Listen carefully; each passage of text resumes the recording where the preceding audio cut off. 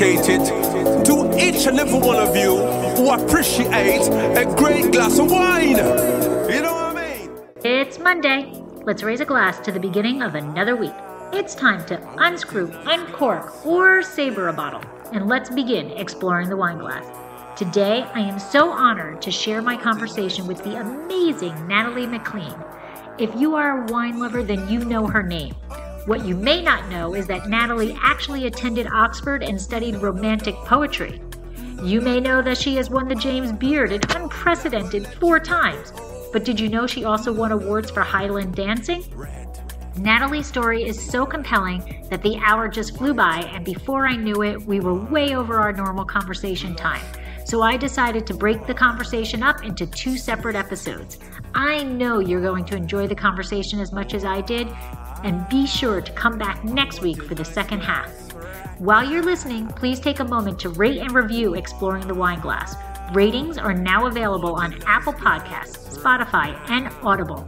Taking one minute of your time is the only way the algorithms will suggest exploring the wine glass to others. Sláinte!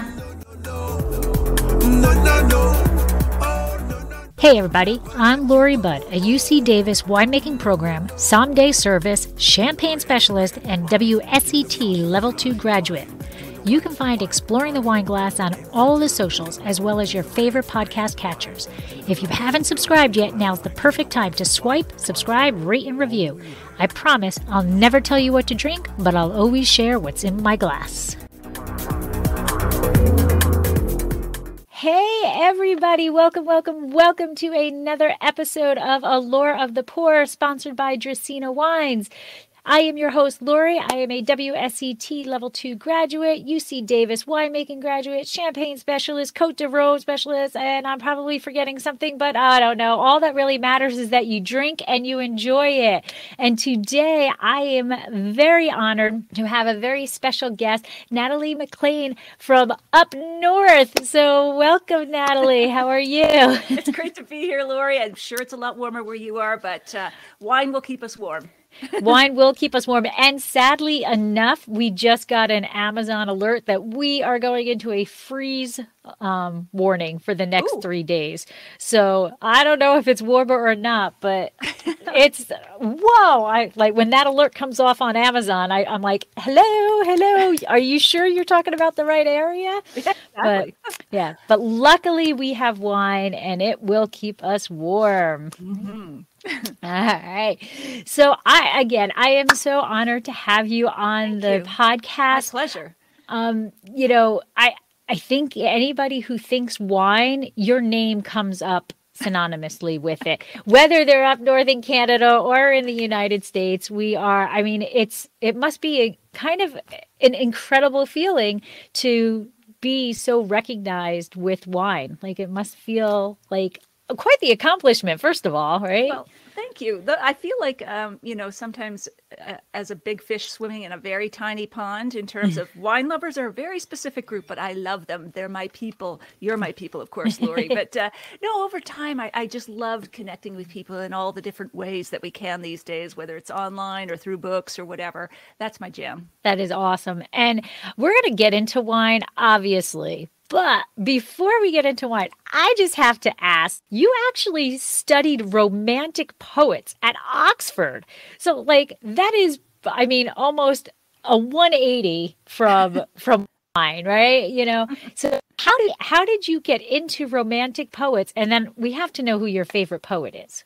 Okay, absolutely. So, hands down, it was John Keats. Um, and I have a story about him, Lori, that will actually magically tie together the romantic poets and wine. So, this is from my uh, memoir that I'm currently writing, but I'd love to share it with you if you're good with that. Yeah. All right. Okay. So, several years ago, I was on a walking tour of Rome's uh, lesser known food haunts with my partner Miles and my son. And I was thrilled when we accidentally came across Keats's burial place and his tombstone was tucked away in a remote um, corner of this graveyard, and it was inscribed with his quote, Ode to a Grecian Urn. Uh, that's the one he's best known for, I think. Beauty is truth, truth, beauty. That is all you need to know on earth, and all you you need to know, something like that. I'm mangling him, even so. um, but, and so, you know, call me morbid, but I think walking through a graveyard on our way to a cheese shop made perfect sense because we were blending life and death and eating and satiation. Um, so I, I, adopted in my uh, first two books and in my writing, I adopted kind of the new journalism approach to writing. So what they believed, like uh, Joan Didion and uh, Truman Capote, was do the thing you write about. And so instead of interviewing a sommelier, I became one for a night, you know, so that I could get a deeper, richer experience to write about. You know, I worked in a wine store, I worked the harvest, and we could talk more about that later. But my earliest inspiration, Lori, was actually Keats, because his work um, was the subject of my final paper at Oxford and particularly his belief in what he called negative capability. So he tried to forget himself and become one with his subject, like, like the urn. And he was trying to capture that pure experience in words. So truth for him was the was the urn's beauty itself, not some cold, distant, objective analysis of the urn. And so mm-hmm. I really resonated with that. Like when I talk about my love of wine, um, it's not an analysis of it. I really want to lose myself in in my subject and capture that feeling that wine gives us into words and yet not reduce it down to fruit salad and a number. So so I'll wrap this long-winded story up. Uh, the heartbreaker was that Keats didn't want his name on his tombstone. He felt that he had contributed nothing to the world before he died at just 25 years old from tuberculosis, TB. And also on his tombstone, he wrote, Here lies one whose name was writ in water and was really melancholy sentiment because he thought everyone would forget about him. And that inspired me to draft my own tombstone inscription, Lori. Here lies one in time whose name shall be consumed with wine. so, several decades later, Keats' good friend Joseph Severn died, and he arranged for his tombstone to be placed next to Keats to indicate that the nameless tombstone beside him belonged to the immortal English poet, ensuring that future generations would know Keats's burial place. And all I can say is, would that we all had a good friend who who will remember us and with whom we can share a good glass of wine. Oh, that is that is the best tie-in story ever. that is truly the best tie-in story. Oh, thanks. Thought it was a stretch, but I tried to lasso them together. Yep. and by the way, going through cemeteries is actually one of my favorite things to do whenever we go um whenever we go away to to Europe or mostly Europe because they're just more beautiful there. There's something beautiful about them. Um but there's some areas here in the United States that just have you know the older cemeteries. And do you know there's a term for cemetery lover? Without being a weird there is a ta- it is a taphophile a taphophile. And, and it's somebody. What's the origin? Yeah, go ahead. Um, I don't know what the origin is. Um, I found that out when we went to Scotland. And oh. um, we were, you know, there's the amazing, um, beautiful cemeteries there. Um, and uh, we were going through them all. And we do, we, we travel all over. We, we were in Rome. We were going through the cemeteries, looking for the famous people. And just walking through them because there's something peaceful about them and and really they're beautiful they're they're you know they're elegant they're beautiful and to you think about what these people's lives were like so it's kind yes. of like a reflection on even though i don't know who you are you know i'm i'm appreciating you as a person because i'm taking time to look at your stone you know Absolutely. and and yeah. there's another new term that you might like um, hobbyists who go and visit grave, graveyards. It's called graving. And there's a whole tourism oh. industry getting built up around graving. So we're off to a morbid start here, but I think it's a perfect combination with wine because there's something immortal about wine. There's something you always remember where you were with a memorable bottle. Absolutely and I just love, you know, like the I visited Evita's tombstone when I went to Buenos Aires to write about Argentine wine. Wow. And, yeah, I loved it, and there were very vicious cats surround, hungry cats surrounding her tombstone. Um, you couldn't get too close, but um, you know, I visited grave star, uh, graveyards even when I was on assignment for something completely different and didn't write about it. But I love seeing it's it's a little heartbreaking, but sometimes the tiny tombstones of children mm-hmm. and they're right mm-hmm. beside their families and there's a story there. Yeah. Uh, yeah, it's amazing. Yep. Absolutely. Absolutely. I agree. I agree. And I, I don't know, people, some of my friends are like, that's a little strange. You go to cemeteries and I'm like, just try it. It's, yeah. it really is an amazing feeling. You, I, I, think you get to get a sense of those people who were there and, and doing, you know, trying to sense how they were and what they're, and you're right. The families are all around it, yeah. but and it's, yeah. it's a reminder of our own mortality. I don't think it's morbid at all. It's like carpe diem, seize yeah. the day. You're on top of the ground now, but soon you'll join us. Absolutely so, right. Like live life. Uh, you know, life's too yeah. short for a bad bottle of wine, etc. Yeah. Exactly, exactly. And that is so true, right? And that goes to my saying of I will never tell you what to drink, but I'll always share what's in my glass, right? Yes. If you like the wine, drink it. And Amen. if it's in my glass, it will be in your glass too if you want it. That's a great approach, Lori. so um, again, I, I I was blown away. You know, I say all the time that I, you know, I'm like the little Googler and I'm like, you know, stalking the person when I go to interview them. But I find out these cool things that I'm like, okay, we have to talk about this. Highland dancing. Mm. Yeah. Oh my God. I absolutely love it. So oh, there bagpipes and me, like it's it's such an amazing sound. It goosebumps, everything. Yeah. So how did you get into that? well, you say bagpipes. That brings back another story for me. Um, I was interviewed um, by a local radio reporter at a Highland Games when I was about nine years old, and he said, "You must really like the sound of ba- bagpipes, eh?" And I said, no, they sound like cats screaming. Back to cats.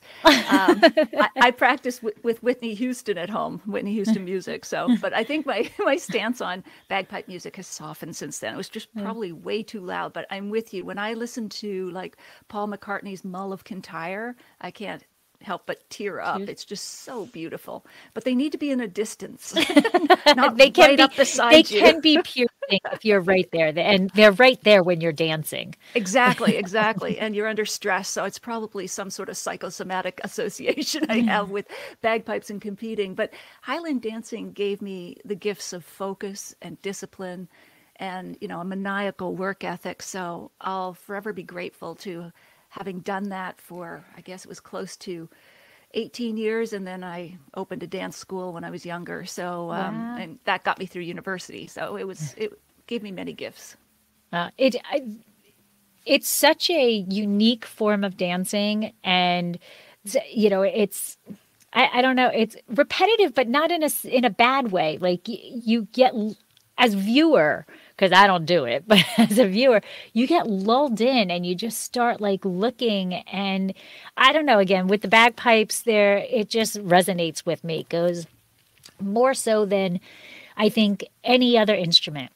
Hmm, it that, gets to the soul. You're, you're, back on the stage. that is true. Right into your ear directly. That is true. I can yeah. I can give you that. I can give you that. All right. Now that we're done with that part, we can actually get into the wine. My story. I always need to know the origin story. So, how did you find your way to wine, or how did wine find you? Yeah, that's a good way to put it. So, um, after I uh, met my husband at the, uh, we both did the same MBA program. We moved to Toronto and um, we wanted to find something to do as a couple in the evenings. He was um, on uh, Bay Street, which is our equivalent to Wall Street. I worked at mm-hmm. Procter and Gamble, like Crisco and Duncan Hines and Pringles. Um, so we worked long hours and we wanted to find something after work we could do together. And so at first we tried Spanish lessons and, you know, conjugating verbs after a long day at work was just a no go. Uh, I don't even, re- I would like to be able to say the Spanish mm. equivalent of no go, Nova or whatever. Yeah, Nova. remember Nova. Nova. Okay. okay. so one thing stuck with us, stuck with me there. Um, we also tried golf, but for Type A personalities with long iron clubs in hand, that was not a good formula either. Uh, we just got so frustrated, stressed out. But then I, I saw in this um, brochure that came to our house a wine course. So we could take a wine course at night, I thought, yes, we can drink for sure, and that'll be relaxing. And you know, we we both loved wine. We knew nothing about it, so we enrolled in this wine course, and it was so much fun. But I remember the first night they poured like I don't know um, seven samples of only an ounce or two.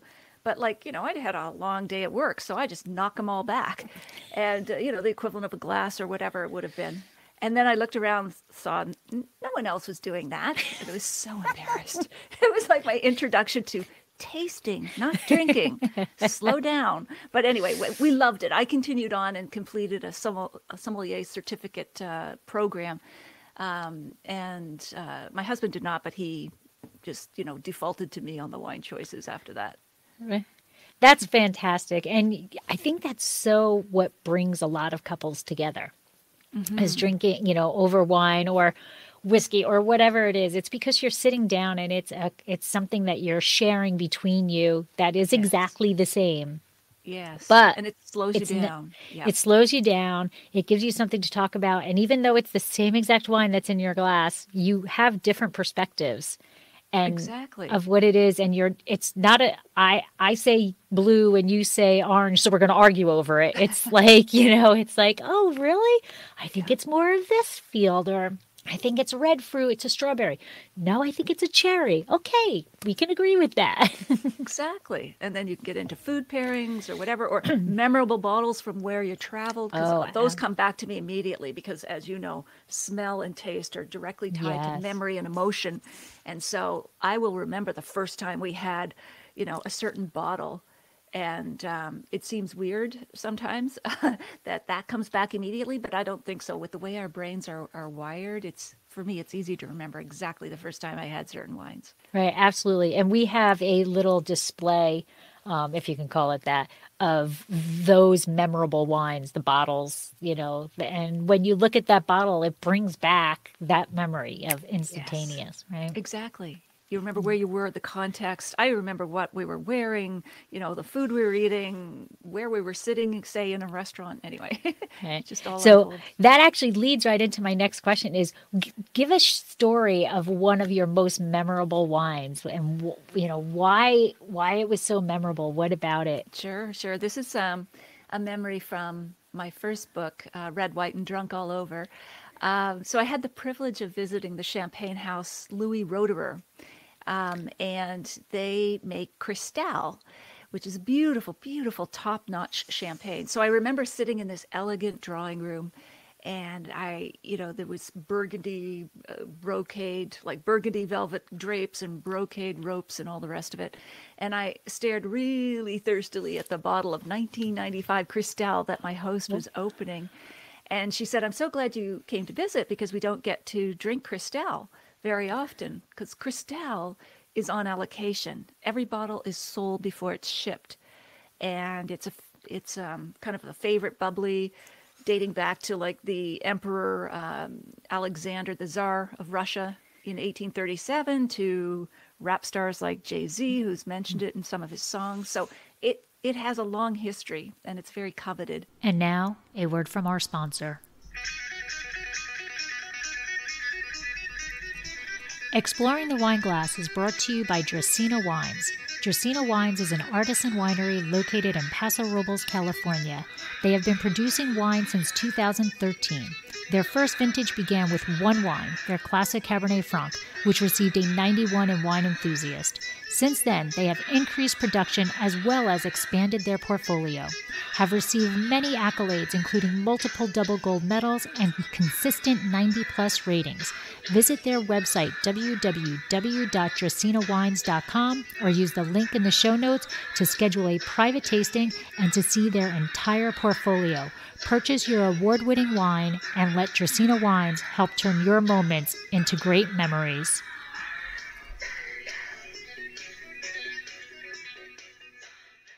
But I think, like, the way we enjoyed it, champagne is the drink of celebration, you know, weddings, birthdays, and so on.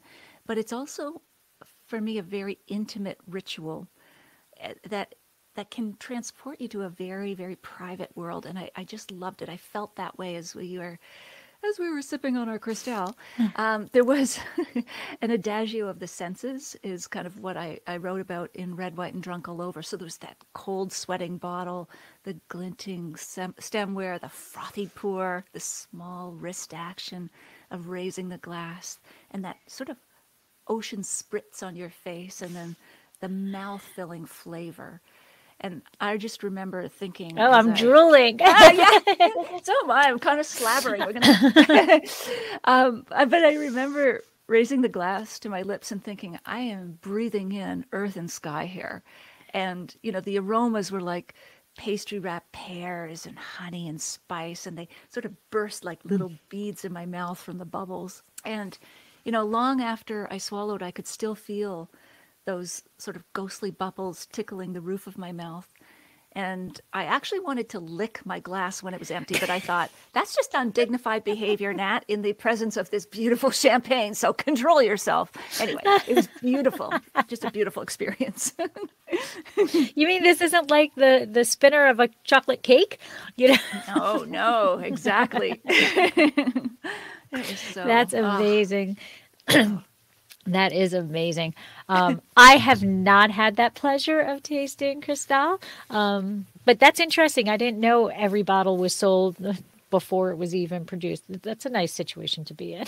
Oh yeah, it's great if you're collecting the money. Um, but you know that I don't know what they sell for um, because that was my first and last experience of Cristal. But it's it's probably close to it's somewhere between five hundred and a thousand dollars a bottle, something like Yeah. that. It's crazy. It's just crazy. Yeah, that. Uh, but you know what? When you have the money, it, why not? Sure. Or if Why someone's not? pouring it for you, Absolutely. Yes, I'll Absolutely. second glass. In 1995, that is my, that's my husband's and my wedding anniversary is 1995. So I am always on a mission to find 1995 wines, so that mm. when we have an anniversary, I can open a bottle of 1995 wine. Oh, that's a great But idea. um, I don't think I can. I think I think I'll get divorced if I bring that bottle and he realizes how much it oh, this old thing? I've had yeah. this for a long time. Yeah, yeah, yeah. No, no, no. Don't worry, don't worry about it. Don't worry about it. Don't. Good seller. All right. so earlier you had said that you follow in like Keats's theory of be as opposed to observe. All right. So you are actually an accredited sommelier, a wine writer, a wine speaker, a judge. Uh, you do this podcast. You, I mean, you really do have your hands in everything. So, is there one aspect of the of what you do that you actually like better than others? I think ri- writing itself will always be my first love, even though I came to it last. So I took all those sommelier courses first without even uh, thinking I could be paid to write. It was a confidence thing. So I was in Yeah. marketing and, you know, I loved writing customer success stories, but I never thought, hey, you love this part of your job so much. Why not try to make it a full time thing? And, you know, so I hosted wine tastings after I got more confidence. Uh, but you know eventually i got there i was on maternity leave and you know i pitched a local magazine about wine on the internet when that was actually a story angle um, and that led me to other columns and articles and gave me the confidence to say hey i can do this full time um, but now the books i read and the courses i take they're all focused on the craft of writing Oh, okay. yeah Yeah, I know what you feel about the the confidence. Uh, I am, I'm type B as type B can be. Um, so, and I'm a Sagittarius, so like I am meant to be in the spotlight. Like that is where I enjoy being. Um, but I, it's it's a- difficult thing to pitch an article. Like I am just getting into the freelance thing. And it's kind of disheartening, you know. You, you have this idea, you pitch it, and then crickets. You hear you hear nothing, you know. Or um, you they they accept the article, and then what you think uh, I'm a I think I'm a decent writer. Everybody tells me I'm a decent writer, and then it comes back with like edit this, edit this, edit this, you know. Yeah. And it takes a little of a of a hard shell to not take it personally. Um, but I I understand that I am just getting into that freelance and knowing how to, which I don't know yet, but knowing how to pitch and get the articles to the magazines that that I want them or that I think they should be in or whatever. So absolutely, it is uh, an ego shrinking profession to try to write and to keep pitching and no one sees how many times you go up to bat and you're just rejected or crickets or whatever. Right. Uh, you know, but you just, you, I mean, I, I guess it's just the same sort of pathological optimism that some winemakers have. You just keep going and going yep. and going and trying and pitching and pitching. yeah. And it's yeah. funny because on that realm, I'm quite okay with that. Like I get everybody's not going to love our wine. You know, when you when you go to pour their bottle, it's always exciting to see their faces you know? And if we're out at a restaurant and somebody has our wine forget it. Like i don't i, I will still be if i'm alive at 100 years old and i'm still making wine if somebody's drinking my wine out i will be you know ecstatic. But you pour the wine not everybody you know not everybody's going to buy that wine that that yes, you make. And it it is you know you go to you go to a restaurant and they're like nah it's just not for our wine list. Okay it's okay. So I have a thick skin for that. It's, I just got to move that over to the writing aspect now. exactly. It's, yeah, it's a challenge when when writing is so much a part of us. Like it's mm. it comes from inside, just like dance does. I, I find they're very similar when you're trying to express yourself in a different way than just talking directly on the page or on the dance floor. But it's very personal. Yeah, absolutely. Because you're really kind of pouring your soul into into what you're writing and you know, it's it's a different form of blood, sweat, and tears. it is. It is absolutely, Lori. Yeah. All right. So, well, you obviously write very well because you are, uh, we won the world's best wine writer by the World Food Media Awards in Australia. So, first of all, super kudos. Thank you. All right. Congratulations. And, but like, tell us about that experience. Like, how did you like enter were you like i guess i'll enter what do you like uh-huh. work us through that and then finding out that you won this incredible award um, well, I used to enter every type of contest as a kid. I, I think it was the Highland dancing that got me going. But, you know, a coloring contest, I'm in. You know, my secret weapon, by the way, was glitter glue. Oh, Just, oh yeah, oh yeah. That yeah, I won many tickets to movies with glitter glue. Um, so I, I find it hard to resist a, a, contest if I feel like I can enter. I, of course, I never think I'm going to win, but I, I will go up to bat. Um, but for this one, I was on assignment with Air Canada, our major airline, and that was a that was a good gig. So they they fly you first class when you're writing for their airline magazine. So I my assignment. Oh, uh, I have to put that in the background. Hey, United, knock, knock, exactly, knock. exactly. So uh, they flew me to Australia, and I was to go to all the restaurants, the top restaurants in Sydney, and eat my heart out, drink my heart out, and write about them, and then go down to the Hunter Valley, which is only about an hour away, and write about that wine region. And so um, when I found out I was nominated, um, I was able to coordinate the trip because the, the the award ceremony was in Adelaide. I had to fly from Sydney to Adelaide, but it was surreal because um, you know, across all of the categories for the World Food Media Awards, there were about a thousand entries.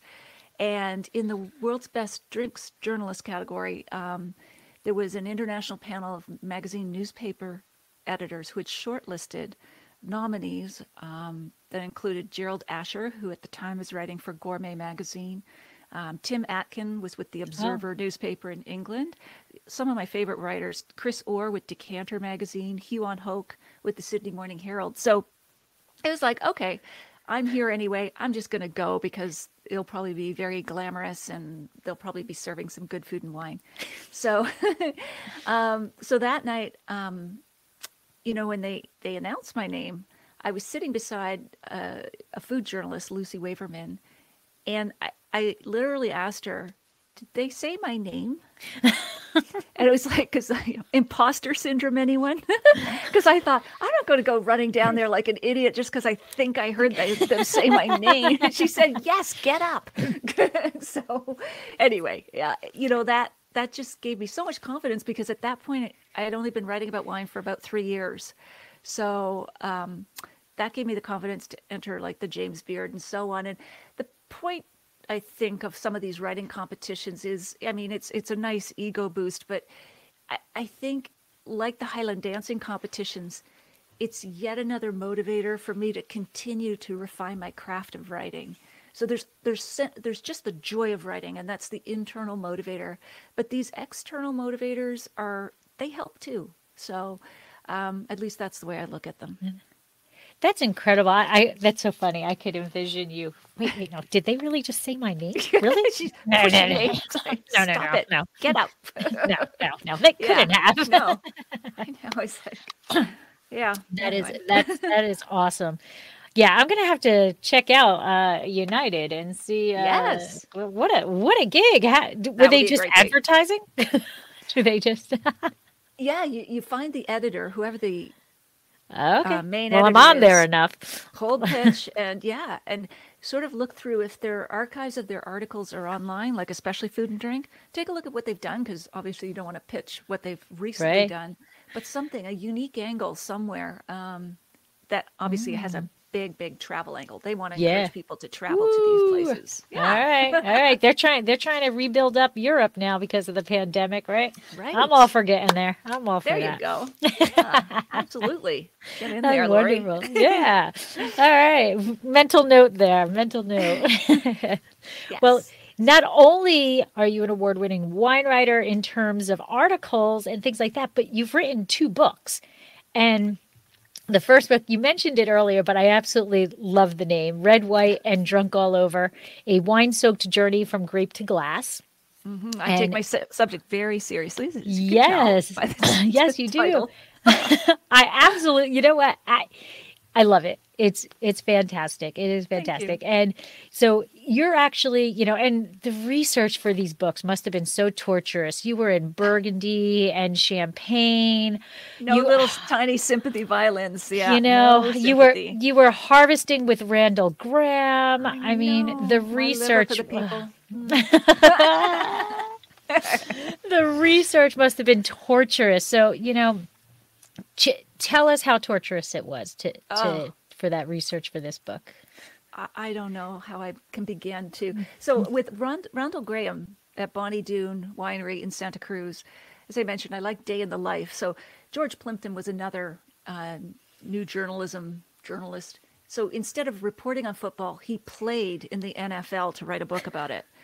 So I'm following the sort of vibe of these crazy cats, and I asked Randall if I could come help with the harvest. And he said, sure. Uh, the thing about Randall is um, he kind of approaches winemaking like performance art. So he is posed in a purple silk cape and mask as the Rhone Ranger for the cover of Wine Spectator magazine. He actually hosted a funeral service for cork in Grand Central Station in New York. It was a coffin, an open coffin filled with cork, and they had a eulogy, and all the food was black, and they paired wine with it, and it was crazy. So this guy is, he's not, but he's not a nutcase. he No, he is not. no, he's so smart. He's he's written some books. He's witty as heck, and I think he really cracks through um, and gets his message across. You know, uh, his influence, I think, on American wine has been profound, and it's as deep as it is wide.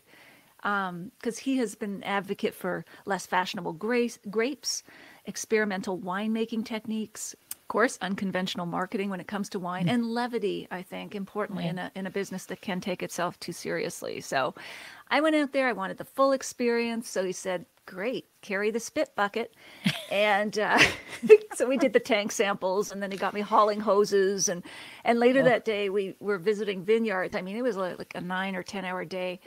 Um, I spent a few days there with him, and I was picking grapes, and it was the sun was just baking, but it was giving me a sense, a little bit more of an internal sense of what it's like through the harvest and what makes for good wine. Like when are the grapes right? How do you taste that? And so all of these things came out in that experience, even though it was a bit uh, zany as well. Yeah, he um I love him. I think he is he is brilliant beyond brilliant and um the things he does are well de- well conceived in his brain. He knows what that outcome is going to be from from that, what he's going to do. And yeah, he's not crazy at all. He he is beyond brilliant. And I love how much dedication he does to the research um, and to, like you were saying, the underappreciated grapes and things like that. It's he really has helped the wine industry as a whole in in such a such an amazing way. He has. Um, yeah and the research must must have been uh, not too bad because the book was chosen the best wine literature book. So another award for you. So how to like you just keep racking them up. Do you have a room of all these awards? No, no, they're all in a box somewhere downstairs. It's like we moved. It's like I am not putting these things up again. It's just like it's a lot. Anyway, no, but it, it's yeah, it's. It, it's gratifying but again it's the, the other thing too that competition can do is spread the word so when you mm-hmm. you know publishing a book these days is a slog i'll tell you like um, not looking for pity the research is fun but actually trying to sell a book um, is very difficult like publishers don't have a marketing budget anymore book tours are a thing of the past they they either don't have the budget or you know covid did away with that so I'm in the process of writing my third book, which is a memoir quite different from the first two. Okay. And these awards can help spread the word about a book, just like, you know, the Oscars do about movies. Right. They get a spike in, in sales or ticket box office. Um, th- they're very useful as marketing tools as well these days. And the um, the whole publishing thing, I get like it's, I I think books have, uh, sadly, have fallen by the wayside of, of, I don't know how it is in Canada, but in America, it seems, you know, um, first of all, it went to Kindle, which I don't even, or, you know, to the, I call everything a Kindle, even though it's not really a Kindle. Um, you know, I don't know. I, I've got to ask you, as as an author, how do you feel about that? Like, uh, paper in your hand versus the electronic. Do you have a preference as since you are the author? Well, I love paper books. Um, I almost used to think of ebooks, whether they're on tablets or Kindles or wherever, are not real books. Um, but you know, and how do you sign a Kindle? Book signing like really don't work well. let, let, me get a marker on your device yeah. there. But but the, the format that I increasingly love best, Lori, are audiobooks because of course you and I are audio people. We have podcasts. Um, so I just the thing the format that gets me most excited, especially for this upcoming memoir, is audio because I think it's such an intimate medium with the voice, and you know we co-create the theater of the mind. You know, where right. as we read, and I don't know. I think there's something there that goes back to childhood and being read stories by your parents that evokes that sort of closeness and that coziness. So yeah with this, and you do I, your own readings right yes. your your audiobooks are your own readings see I, yes I stalk well, don't I? You do. You're scary good. I applaud so your stalking. that is um like that's and that's got to be difficult. I think about I very rarely do a podcast where it's me talking only. I prefer the I prefer talking to people. I do um, too but those rare podcasts where I'm just reading that, you know, reading my script. First of all, I go off my own script. I'm the one who writes it and I go off script half the time. But it takes me 10 times as long to do that podcast, even though it's much shorter than an interview podcast because it's I mean, you know what you you're the one who wrote it. You know what what you wrote, but your brain starts going off and your memories start coming back, right? And then it's true. Yeah. It must be, in, I don't know, it must be interesting to, to do an audiobook and then hearing, that's another thing. You have to get used to your own voice when you have a podcast, yes. right? that's true. That's true. Oy. Um, yeah, the, the audiobook is, is, a, it is a grueling process because it's, you know, a, an average book of say 300 pages is probably anywhere from five to eight finished hours, but that's, you're going to double or oh, triple, triple, that in terms of recording it. Yeah. Wow. lots of editing and all the rest of it. So it's just like I would just get my mouth would get sore by the end. We do like three hours at a time. And I just get totally dried up and I go for a nap in the afternoon. It's like, oh my God. Understandably. Come back next week and listen to the conclusion of this incredible conversation with Natalie MacLean.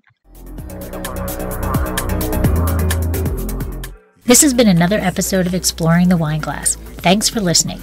If you have suggestions on what topics you would like me to discuss, please reach out on social media. You can find me on Twitter, Instagram, and Facebook as Exploring the Wine Glass. I am also on LinkedIn as Lori Hoyt Budd. Of course, you can always email me at exploringthewineglass at gmail.com. If you enjoyed what you heard, please rate, review, and subscribe to help others find me more easily. And most importantly, tell your wine loving friends because if you like the podcast, they will too. Music is Wine by Kevens. Until next week, Sláinte. Give me the red, red wine. Give me the white, white wine. Give me the sweet, sweet wine.